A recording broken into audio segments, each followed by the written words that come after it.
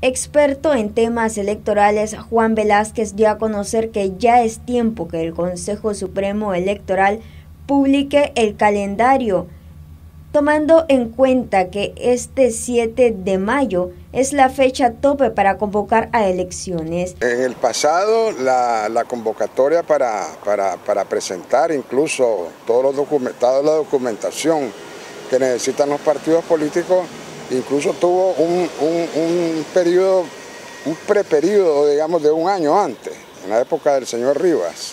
Ahora el, calendario electoral este, está siendo eh, manejado de modo más misterioso, pues, ¿verdad? Porque no se sabe, y el primer paso que el calendario electoral. Sin embargo, este, eh, eh, para otro tipo de actividades, no hay todavía un calendario electoral publicado por el Consejo Supremo Electoral tal como lo manda la ley. Y eso es lo que debería ser, incluso estamos a seis meses de las elecciones y absolutamente no se nota todavía ningún clima de ninguna índole, un clima propicio para, para estas elecciones. Velázquez agrega que este año tanto la campaña electoral como las propias votaciones serán atípicas. Entonces sería una una campaña electoral atípica, pues, ¿verdad? Completamente atípica y completamente virtual sería, pues, ¿verdad? Porque no existirían, digamos, las, las manifestaciones y las expresiones que quiere, que quiera tener el pueblo hacia, sus, hacia las personas de su simpatía.